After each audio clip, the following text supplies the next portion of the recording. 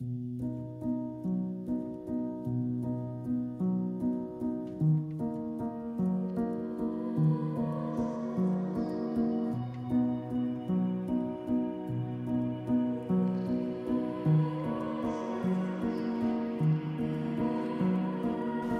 Tilly Barnard from Pam Golding Properties in George.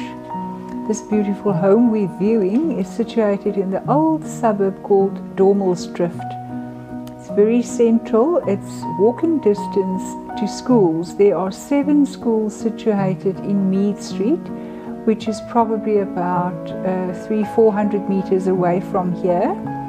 It's a quiet area, but what is exceptional is the current owners built this magnificent home 41 years ago and they brought up four boys in this house.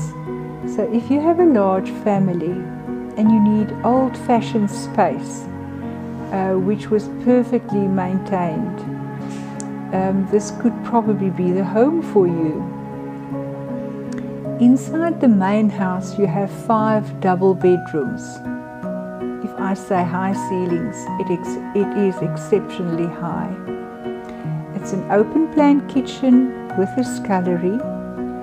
There's a separate pantry plus a storeroom. There's also a study plus an outside sixth bedroom.